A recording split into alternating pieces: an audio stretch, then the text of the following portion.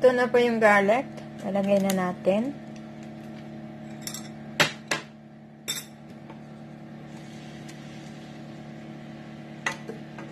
Hmm, ang bango.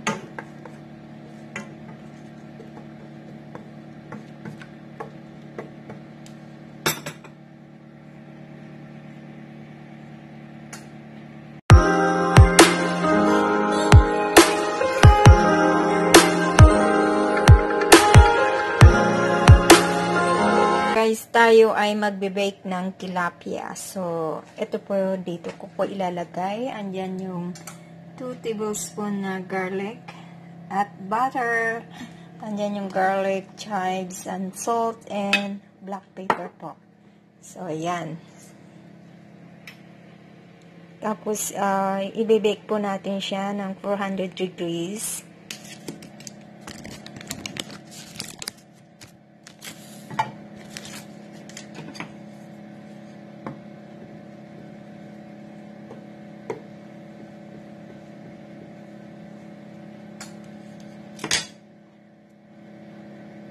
Ang bango po ng ano, garlic at saka butter. Napakabango.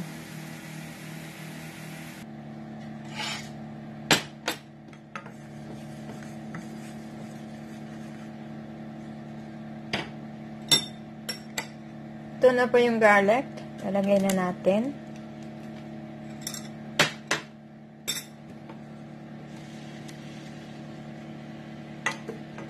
Hmm, ang bango.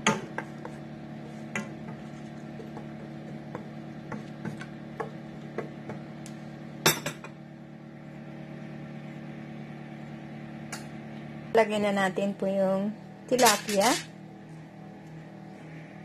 So, lalagyan, ilalagay na natin po yung yung garlic at saka yung butter garlic. Lagyan natin po sa ilalim yung iba. Hmm. Tapos ilalagay na natin yung tilapia.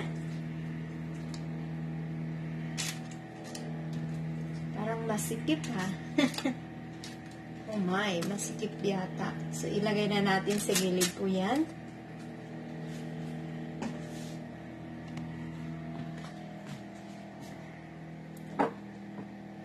Lagyan po natin siya ng salt.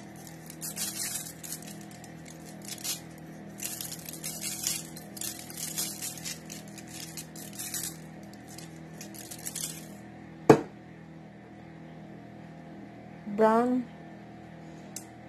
Ay ground black pepper sorry guys.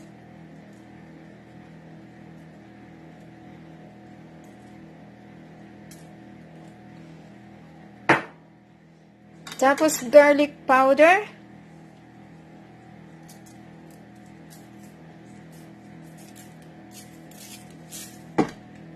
And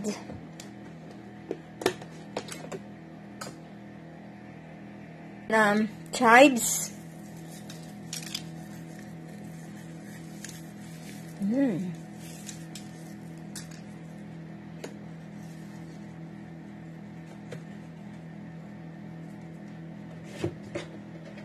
Put uh, a little bit um, olive oil on the top.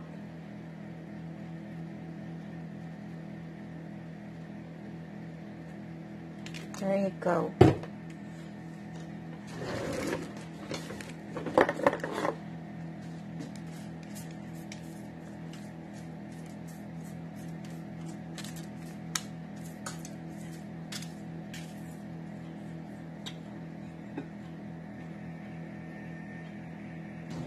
So, lagyan po natin din siya ng garlic sa ibabaw. Garlic butter. Uh, iluluto po natin uh, sa microwave 400 Fahrenheit.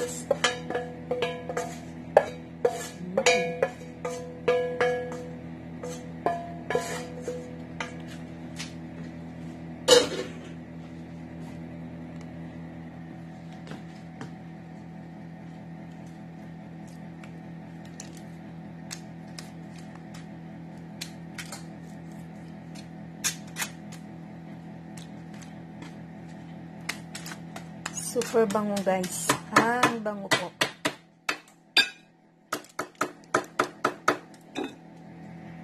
Mainit na siya guys. Ilagay na natin. I-check natin after 10 minutes. Oh my. Gusto at yan. Wow! Super yummy! So, okay na po yan, guys. Ayan. So, nakikita nyo, light brown. Because I put a little bit seasoning, pang pasarap. Ayan. Seasoning sauce.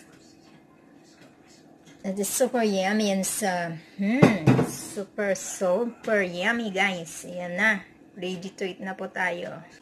So, 10 minutes, guys, na na-bake ko siya.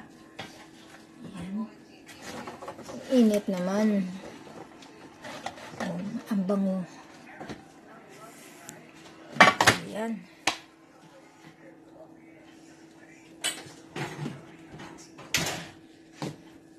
Sarap ang bango po. Ayan po siya, oh. Ang lambot, tapos, uh, very juicy. Mmm, sarap. Ayan po, guys. Kakain na po tayo. Ang sarap. Ayan, ang lambot siya. At super yummy. So, ayan.